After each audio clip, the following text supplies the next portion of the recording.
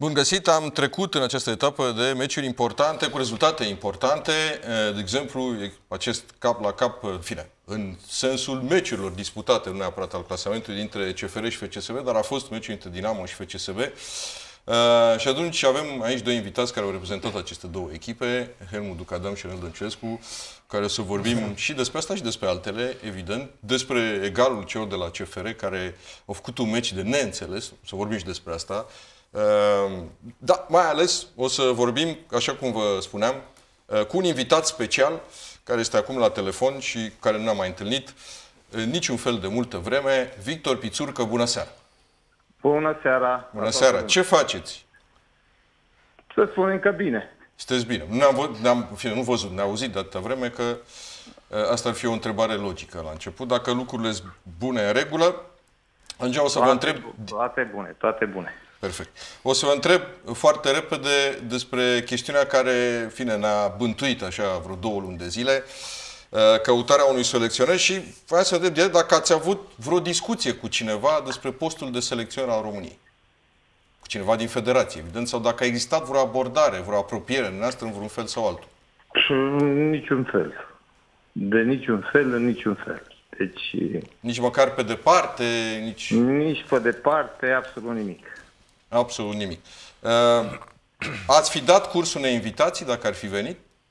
E, Asta e o întrebare de amator, Radu. Da, eu sunt un amator în poziția asta astăzi. Nu, nu ce să amator, Știți de ce vă întreb? Pentru că unii ar spune nu. Și dacă mi-ar fi dat, mi-ar fi dat păi, telefon, n-aș fi da, Așa au spus unii. Cum să spun? Adică dacă spun lucrul ăsta se interpretează în fel și chip. Deci acest lucru s-a întâmplat, așa că... Da, vi se pare firesc să nu fi fost întrebat de chestiunea asta?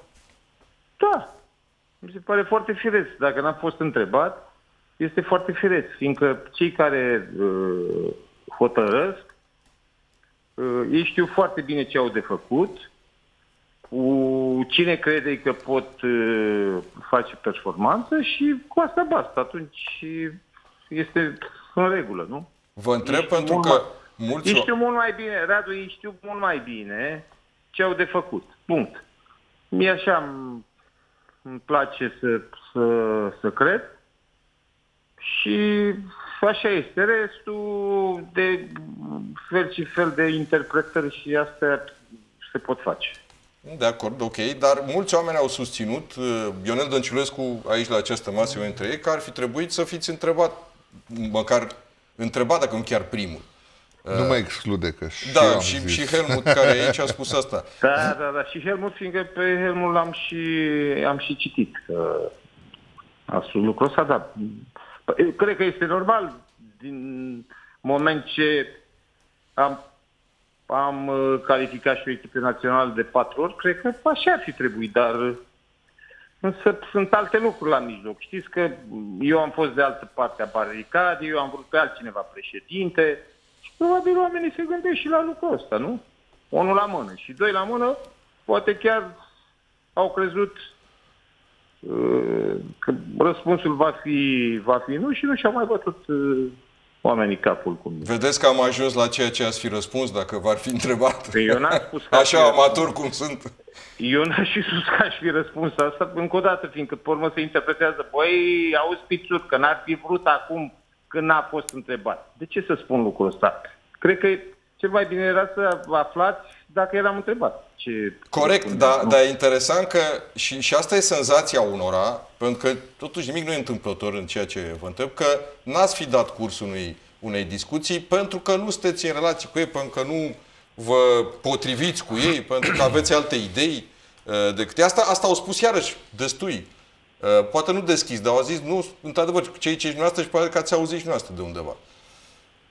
E, da, adev- e adevărat că nu vă potriviți cu ei, că nu sunteți pe aceeași... Nu știu, nu știu cu ei. Când spui cu ei, cu cine? Cu Răzvan Burleanu, cu Mihai Stoichiță, cu... Da, pe mă interesează Mihai Bodescu. De, de exemplu, încă o dată, pe mine nu m-ar interesa de Mihai Stoichiță, dacă ar fi să fiu întrebat de cineva. Eu cât am fost uh, și cât am uh, lucrat în federație, am, lucrat, am uh, discutat cu un singur om, cu președintele. Atât. Restul. Uh-huh. Am avut nicio discuție nici cu uh, comitetul executiv, uh, știți foarte bine, de-a lungul timpului, în contract era stipulat uh, lucrul ăsta. Da? Deci nu are rost să spui ei sau... Uh-huh. Nu, Răzvan Burleanu, direct, el.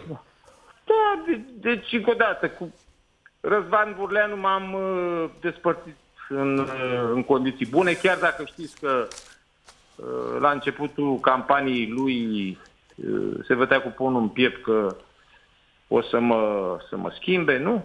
Dar uh, cât am lucrat, am, am făcut-o bine, am lăsat echipa națională uh, cu punctele care, de care a avut nevoie să, să se califice. Restul, și n-am plecat, nu am plecat din cauza lui Burleanu. Știți foarte bine că am avut conferință, eu am spus uh-huh. lucrurile astea. Dar, încă o dată... Nu că, a, și asta e o chestiune pe care mulți au zis-o. A plecat, a fost împins să plece.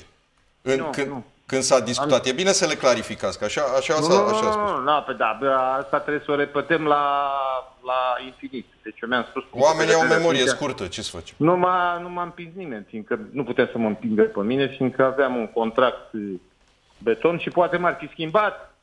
Deci Burleanu când a venit la federație, el poate m-ar fi schimbat din prima zi de când a venit, că așa se bătea cu pumnul în piept. Dar trebuia să plătească pentru asta. Da. Ce părere aveți despre, despre lunga căutare a unui selecționer care, chestiune care nu s-a mai văzut până acum în fotbal românesc cel puțin?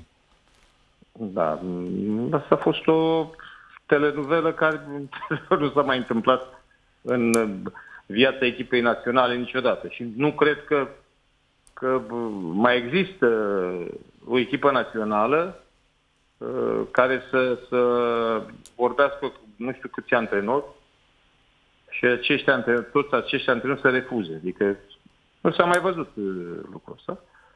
Însă, revenind uh, la Loții Beloni, Da. fiindcă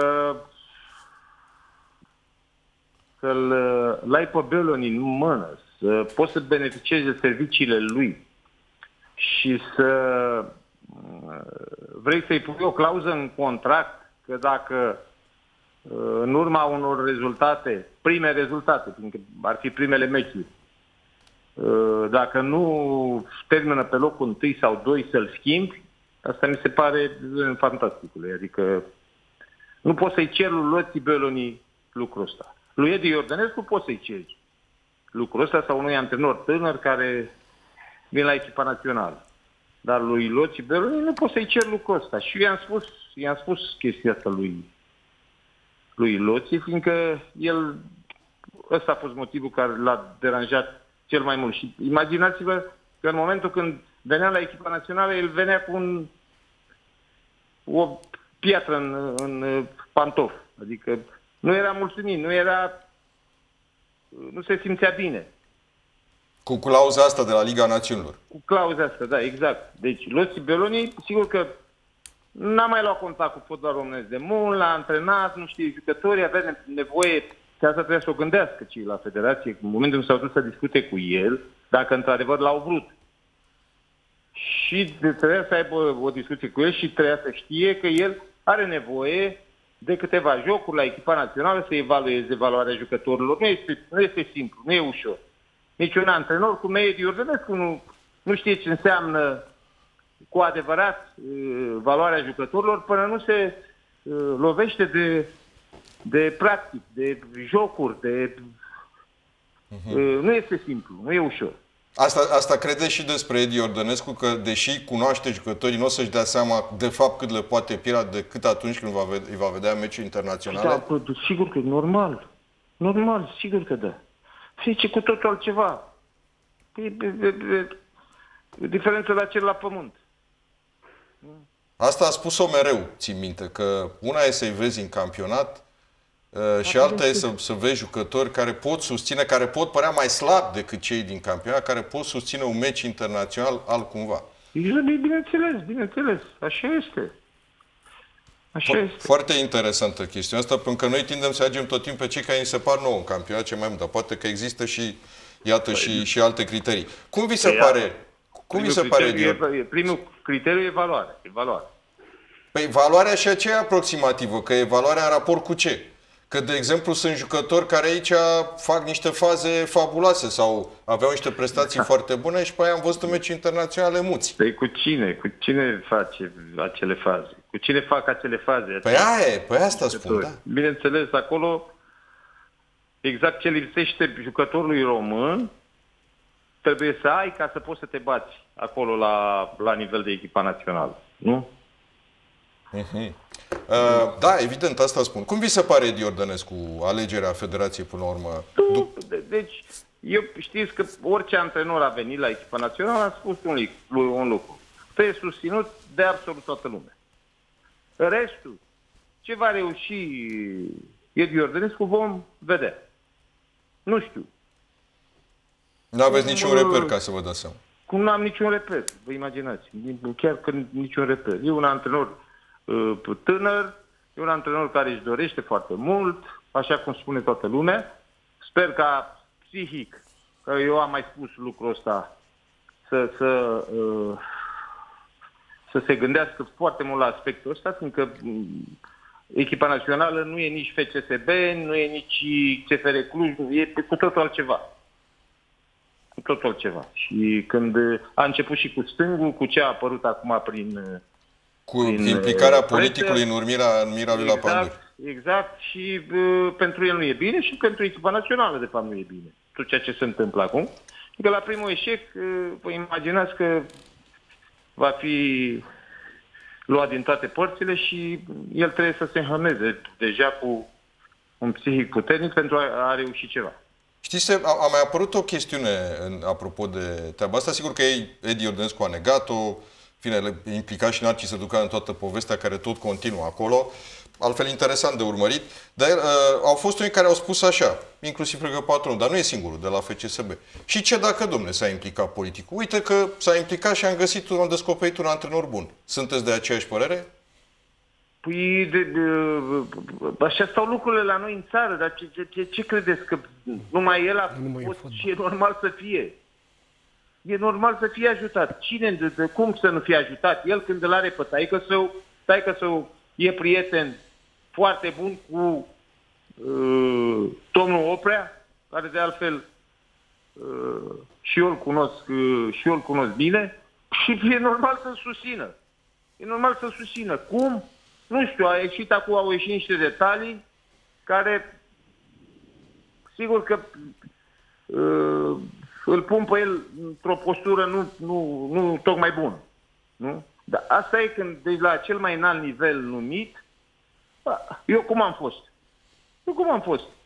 Când am, bine, mersi, am fost la Steaua, am fost la echipa națională de tineret. Când am venit la echipa națională, au început dezvăluirile, pițurcă, pușcărie, barbut și așa mai departe. Și s-a ținut ani de zile chestia asta. Da, nu? pentru că era o funcție de reprezentare cea mai înaltă, să zicem, tehnică în fotbal românesc și atunci evident că apar. Da, ar spune unii totuși în lumea asta care nu beneficiază de susținere de pile, încoată, fără să negi valoarea celor care poate au asemenea sprijin. Spune, doamne, noi la valoare, valoare egală, noi nu putem, am demonstrat și noi.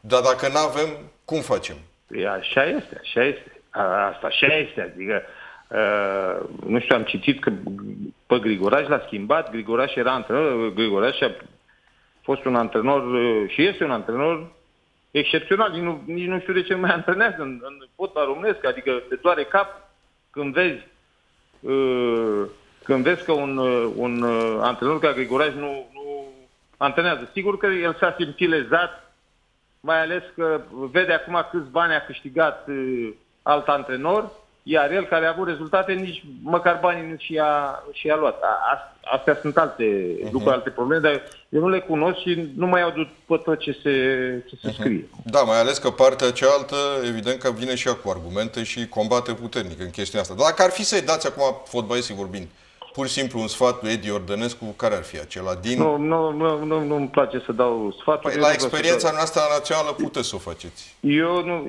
i-am dat, i-am dat deja înainte un sfat, ca psihic să, să, să se gândească foarte bine, să fie foarte puternic, fiindcă va fi atacat din toate părțile. Adică asta trebuie să știe. Când, când ești selecționez, când ești la echipa națională. Da? Da. Sunt sunt mulți care își spun părerea, sunt mulți care au anumite interese, sunt mulți care cred ce spun. El trebuie să audă, dacă vrea să le audă, să-și vadă de uh, treaba lui, de, de meseria lui, că altfel, uh, altfel e greu să, să reușească. Trebuie să asculte și niște observații dacă sunt corecte, coerente și obiective și bune, evident? Sau să zic că nu mă aud nimic, nu mă interesează nimic, am ideile păi, mele? Da, bineînțeles, păi da, dacă nu faci lucrul ăsta înseamnă că înseamnă că nu ai ce căuta în, în, în meseria asta. Da. Tu, tu, tu asculți pe toată lumea, dacă crezi tu că e să iei ceva bun de la cineva, bineînțeles că nicio problemă. L-are pe taică său, care uh, e cel mai titrat selecționer, nu? Are o experiență fantastică, nu? Trebuie să mai consulte și cu el. Că dacă crede el că poate realiza numai el, ok, poate să, să cred, foarte bine dacă face lucrul dar să reușească. Da. O să trebuiască, așa cum am, am și spus, să, să luăm o pauză scurtă și o să continuăm discuția cu voia noastră după câteva minute. O pauză și revenim. Ok.